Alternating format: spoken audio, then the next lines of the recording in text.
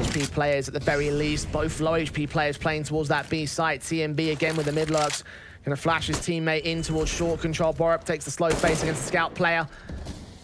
Draken and Golden land the perfect headshots and the perfect sprays. The nades down, that's all they need. There's Draken at least with one frag. Needs a hell of a lot more. Tensky does come up good with one, but Grux is falling in turn. And Draken, another headshot landing towards Miku, a two versus two. Can't get SDY. He's stalling for time though to get Tensky back to position. Oh my god, what a shot. SDY now wants to clutch it again. And one taps all he needs, despite